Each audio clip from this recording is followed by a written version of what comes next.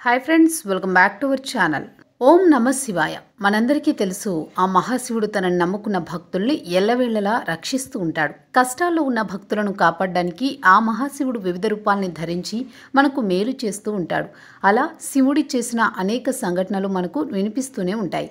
అలాగే పురాణాలలో చూడడాన్ని కనిపిస్తాయి. ఈరోజు మనం ఈ వీడియోలో శ్రావణ మాసంలో ఏదైనా ఒకరోజు శివాలయానికి వెళ్ళి అక్కడ ఉన్న నంది చెవిలో ఈ మాటలు చెప్పండి. ఆ తర్వాత ఏం జరుగుతుంది అనే విషయాన్ని తెలుసుకుందాం. వీడియోని చివరి వరకు చూడండి. ఇంతకు ముందు చెప్పుకున్నట్లుగానే ఆ మహాశివుడి మహిమలు మనకు తొందరగా అర్థం కావు. అలాగే ఆ మహాశివుని నమ్ముకున్న వాళ్ళెప్పుడూ సంతోషాలతో ఆనందంగా జీవిస్తారు. కరడు కట్టిన రాక్షసులను సైతం మహాశివుడు వారు కోరుకున్న కోరికలు కాదనకుండా ఇచ్చి చాలా సందర్భాల్లో మనకు పురాణాలలో కనిపిస్తాయి. అందుకే శివుడు బోలాశంకరుడు అన్న పేరు వచ్చింది.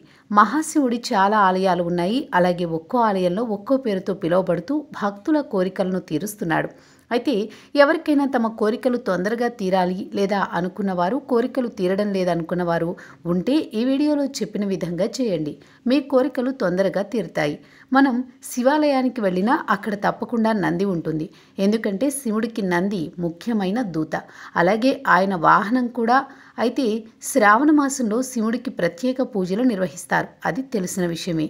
ఆ శ్రావణ మాసంలో మీరేదైనా ఒకరోజు మీ దగ్గరలో ఉన్న శివాలయానికి వెళ్ళి మీ బా బాధలను అలాగే మీ కోరికలను నంది చెవులో విన్నవించండి.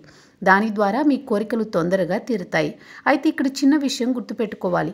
ఆ శివుడి పూజ అయిన తరువాత నంది ముందు దీపం ఉంచాలి. అలాగే శివుడికి హారతి ఇచ్చిన తర్వాత నందికి కూడా హారతి ఇచ్చి అప్పుడు మీ కోరికలు చెప్పండి. తప్పకుండా తీరుతాయి. ఇలాంటి మరిన్ని విషయాలు తెలుసుకోవడానికి మా ఛానల్ని సబ్స్క్రైబ్ చేసుకోండి.